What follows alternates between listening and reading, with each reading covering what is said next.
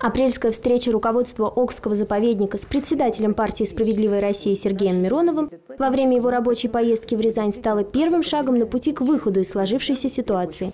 Неудовлетворительное состояние дороги Спасск-Рязанский Брыкенбор обсуждается уже несколько лет. Проблема для заповедника важная, ведь из года в год неуклонно снижается количество экскурсионных групп.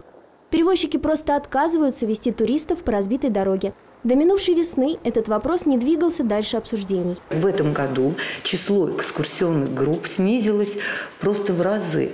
И вот эти вот турагентства, которые нам привозят экскурсионные группы, они сказали, что они отказывают каждой второй группе, а это и дети, это и взрослые, которые хотят посетить заповедник.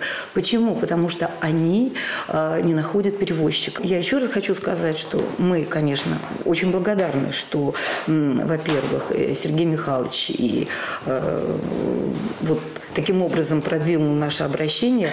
Благодарны Олегу Ивановичу, что э, дальше развитие пошло. После обращения к Сергею Миронову в заповедник пришло письмо от правительства региона с планом ремонта дороги Рязань-Спас-Клакаш на 2015-2016 годы. Согласно плану, в 2015 году отремонтируют 2,5 километра дороги от Спаска до села Лакаш – а в 2016 году предстоит ремонт 9,8 километра и реконструкция 21 километра дороги.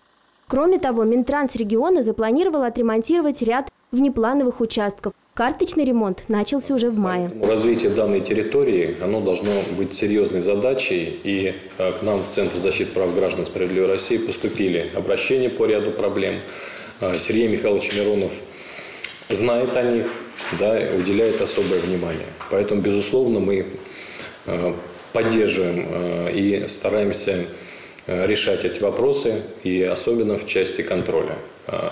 Если брать дорожное строительство, в Рязани недавно мы объявили о запуске проекта по контролю дорожного, дорожного ремонта под названием «Бездорожье Рязани». Э, в рамках этого проекта предполагается формирование онлайн-карты интерактивной в сети интернет. Э, проект уже запущен сейчас в тестовую эксплуатацию, идет его информационное наполнение. Домен наши дороги.рф. Э, в рамках этого проекта с его помощью мы планируем как собирать информацию по проблематике дорожного ремонта, состояния дорог города Рязани, Рязанской области, безусловно, именно проблематика Спасского района, дороги Спасск-Брекенбор. С помощью этого мы будем контролировать, безусловно.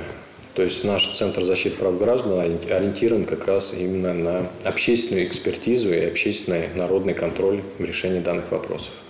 Решается и проблема газификации поселка Бракенбор. Деньги уже выделены, и сейчас вопрос только в экологической экспертизе местности. Мы прекрасно понимаем, что для того, чтобы провести газификацию, необходима проектно-сметная документация.